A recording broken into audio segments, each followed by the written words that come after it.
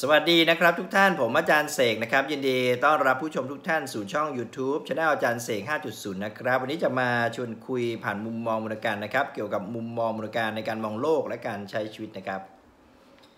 คุณลักษณะที่ดีของจิต ที่จะสามารถเข้มแข็งนะครับ สงบตั้งมั่น มีกำลังนะครับ รู้และเข้าใจตามความเปลี่ยนแปลงของโลกนะครับ อย่างเป็นสุขได้ นะเป็นอย่างไรนะเราจะทำมันให้เกิดขึ้นได้อย่างไร สิ่งนี้นะครับจะมาชวนคุยกันนะครับท่ามกลางสิ่งปัจจัยภายนอกตัวเรานะครับนะที่เกิดขึ้นในทุกวิทุกวัน แล้วดูเหมือนว่าสถานการณ์ยังไม่ค่อยน่าไว้วางใจ หรือผมจะบอกว่าวิกฤตต่างๆยังมีอยู่ แต่ก็มีข่าวดูเหมือนว่าจะเป็นข่าวดีบ้าง แต่ก็อย่าเพิ่งไปปักใจเชื่อร้อยเปอร์เซ็นต์นะครับว่าข่าวดีนั้นนะมันจะเป็นดีจริง เช่นนะครับการนะค้นพบวัคซีนนะครับของบริษัทบางบริษัทนะก็บอกมีสรรพคุณสูงนะสามารถที่จะป้องกันนะการติดเชื้อได้มากกว่า 90%อย่างนี้เป็นต้น แต่ในทางปฏิบัติแล้วนะครับเรายังไม่ทราบนะครับถึงความชัดเจน ประสิทธิผล ประสิทธิภาพ สมรรถภาพของวัคซีนที่แท้จริง แล้วรวมถึงนะครับนะหลายท่านเนี่ยบางทีมองโลกนะครับนะมองโลกแบบใช้อารมณ์หรือความรู้สึกนำนะไม่ได้มองโดยพิจารณาจากเหตุสู่ผลมองรอบด้าน หลายท่านก็คิดว่าเมื่อมีวัคซีนแล้วนะทุกอย่างจะกลับฟื้นคืนมาอย่างรวดเร็วนะครับ ซึ่งมันดูเหมือนว่า ถ้าเราพิจารณาด้วยเหตุผลแล้วเนี่ยคงไม่ได้เป็นเช่นนั้นนะครับ คงจะค่อยๆเป็นถ้าวัคซีนตัวนี้มีจริง แล้วมีสมรรถภาพดีจริง มีประสิทธิผลประสิทธิภาพดีจริง แต่ก็ถือเป็นข่าวดีที่ทำให้หลายคนคลายใจ แต่ก็ขอให้ข่าวดีนี้อย่านำซึ่งความประมาทมาให้ เพราะอะไรครับเพราะว่าบางท่านเนี่ยจิตตกถ้าไม่มีวัคซีนไม่มีข่าวดีมาจิตตก จิตห่อเหี่ยว จิตท้อแท้ สิ้นหวัง เศร้าหมอง ซึ่งลักษณะแบบนั้นลักษณะจิตที่ไม่ดี เกิดจากอากุศลครอบงำนะครับ เช่นความฟุ้งซ่านนะครับ เช่น ความเเศร้า ความที่มันรู้สึก ไม่มีอะไรที่จะให้ยึดเหนี่ยวจิตใจนะเหมือนกับว่าเราไปเดินอยู่ในที่มืดนะครับมืดและอันตราย ในใจเราก็มีความหวาดหวัน่นหวาดกลัว ต่อความมืดและอันตราย ไม่มีแสงไฟ ไม่มีแสงสว่างนะครับแม้แต่แสงหิ่งห้อยเล็ก ๆ ก็ไม่มีมันความรู้สึกแบบนี้แหละครับ มันทำให้จิตรู้สึกหดหู่เศร้าหมองทำให้จิตรู้สึกวิตกกังวลเครียด บางคนกินไม่ได้นอนไม่หลับ บางคนรู้สึกว่ามันเป็นทุกข์เป็นความทรมานนะครับ หลายคนนี้อาจจะเข้าข่าย ถ้าเป็นแบบนี้มากขึ้นมากขึ้น อาจจะเป็นโรคซึมเศร้านะครับ เป็นโรคจิตเภทเพศหนึ่ง ที่คิดถึงความสิ้นหวังนะความท้อแท้ความไม่อยากอยู่ในโลกนะครับนะเพราะว่าไม่มีความหวังนะครับเพราะความหวังของคนโดยทั่วไป ก็คือความร่ำรวย ความสุขนะที่มีการจะสำเร็จได้โดยการครอบครองทรัพย์สินเงินทองนะครอบครองสิ่งของต่างๆ แต่พอเจอสถานการณ์ภายนอกที่พลิกผันนะสถานการณ์ทางเศรษฐกิจการเงินการเมืองสังคมนะที่ไม่ได้ดังใจสร้างความผิดหวังให้ ก็รู้สึกว่าท้อแท้เศร้าหมอง จิตห่อเหี่ยว และคิดแต่ลบ ในทางตรงกันข้ามนะครับ ถ้าเราฟังข่าวดี แล้วเราก็มองโลกสวยไปเลย มันก็จะเข้าข่ายประมาทนะมันก็ให้ผลร้ายในภายหลังมันทำยังไงล่ะครับ เราถึงจะ สามารถนะครับอยู่กับความจริงได้นะความจริงนะที่อาจจะบางครั้งนะไม่ได้สวยหรูนะไม่ได้มองโลกสวย แต่ก็ไม่ได้มองโลกร้ายนะครับถ้าจนไม่มีทางออกสิ้นหวังอย่างเงี้ยนะครับวันนี้จึงมาชวนคุยกันว่าคุณลักษณะที่ดีของจิตเนี่ยนะครับก็คือจิตใจที่เข้มแข็งนั่นเองมันคนไหนที่มีจิตใจที่เข้มแข็งนะครับนะไม่ท้อแท้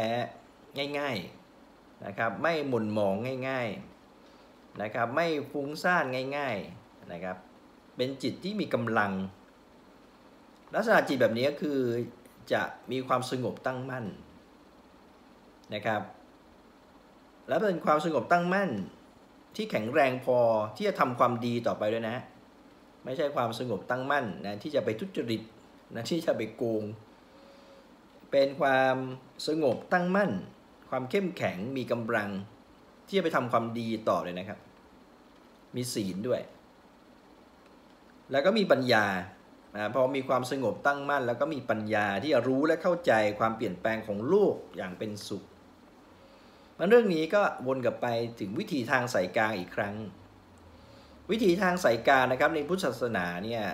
ก็คือที่เราเรียกย่อๆว่าทานศีลสมาธิปัญญา ที่ผมพูดไปเนี่ย คือวิธีทางสายกลาง มันเป็นวิธีของจิตนะครับ ที่เรียกว่าอริยมรรคมีองค์ 8 ประการว่าในวิถีของจิตที่เรียกว่าอริยมรรคมีองค์ 8 ประการเนี่ยจะมีองค์ประกอบ 3 3 ประการนะครับที่เป็นศีล คือสัมมาอาชีวะสัมมากัมมันตะสัมมาวาจา แล้วก็มีอีก 3 องค์ประกอบนะครับที่เป็นสมาธิ คือสัมมาวายามะสัมมาสติสัมมาสมาธิ แล้วมีอีก 2 องค์ประกอบนะครับที่เป็นปัญญาคือสัมมาทิฏฐิและสัมมาสังกัปปะ เพราะฉะนั้น จิตที่ดีจิตที่มีความเข้มแข็ง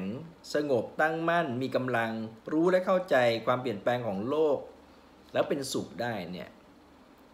นะมันจะต้องเดินบนวิถีทางสายกลางนี่นะครับ ก็คือทำยังไงให้องค์ประกอบ 8 ประการนี้ นะที่มี 3 ประการคือศีล 3 ประการคือสมาธิ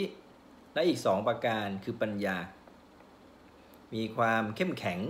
มากขึ้นมากขึ้น อุดมมากขึ้นมากขึ้น ยิ่งถ้าสามารถนะที่จะปักหลักเสาทั้ง 8 ต้นเนี่ยนะครับในอริยมรรคไม่องค์ 8 ประการลงสู่จิตใจได้อย่างมั่นคง ก็ทำให้จิตใจ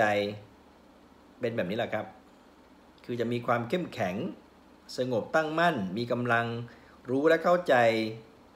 นะครับความเปลี่ยนแปลงของโลกอย่างเป็นสุข อย่างสุขแบบปกติด้วยศีล อย่างสงบสุข สันติสุข มีกำลังใจเข้มแข็งด้วยสมาธิ แล้วก็มีความสามารถในการปล่อยวางด้วยปัญญานะครับ นั่นแหละครับ คนเรานะถ้าจิตใจดีเสียแล้ว จิตใจมีกำลัง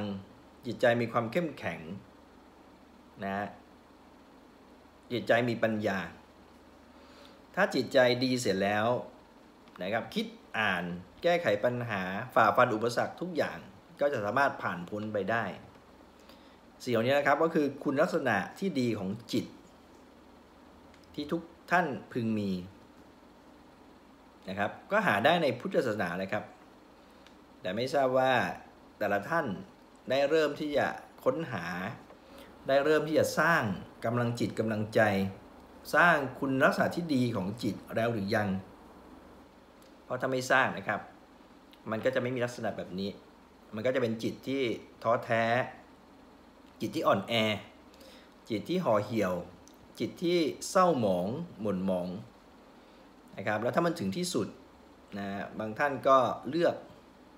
ในทางที่ทำร้ายตนเอง หรือบางทีไม่ได้อยากทำร้ายตนเองครับนะแต่ว่ามันเกิดเป็นโรคซึมเศร้า เป็นโรคจิตเภทขึ้นมา ซึ่งก็น่าสงสารนะครับ มันเป็นผลมาจากตัวอำนาจนะของกิเลสตัณหานะที่เข้าไปครอบงำจิตใจ แล้วก็จิตใจเราไม่มีกำลังนะที่จะต้านทานอำนาจกิเลสตัณหาเหล่านั้นได้ เพราะว่าจิตใจเราไม่มีศีล ไม่มีสมาธิไม่มีปัญญา เพราะจิตใจเราไม่ได้ฝึกฝนไว้ในวิถีทางสายกลางอริยมรรคมีองค์ 8 ประการนะครับ มันจิตเหล่านั้นก็เป็นจิตที่พึ่งพาตนเองไม่ได้ จิตเหล่านั้นนะก็จะเป็นจิตที่ไม่ดีเพียงพอนะครับที่จะสามารถเข้มแข็ง สงบตั้งมั่นมีกำลัง รู้และเข้าใจความเปลี่ยนแปลงของโลกอย่างเป็นสุขนะครับ ใครชอบฝากไลค์แชร์นะครับ แล้วเจอกันใหม่คลิปหน้า สวัสดีครับ